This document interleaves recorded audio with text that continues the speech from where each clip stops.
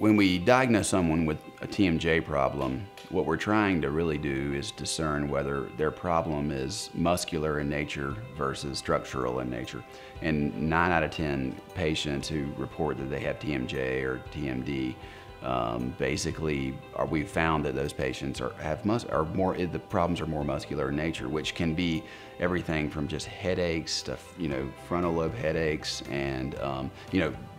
pain in the jaw and the muscles, um, you know, ringing in the ears. It's a number of different symptoms that come from, you know, the diagnosis of TMJ. But the ultimate goal is to establish harmony with in the system of, you know, the bite, the muscles, the ligaments, the joints. Because if we can establish the right kind of harmony, we're gonna we're gonna help that patient long term. You know, there are ways to help a patient when there are, are acute problems, such as you know severe types of TMJ pain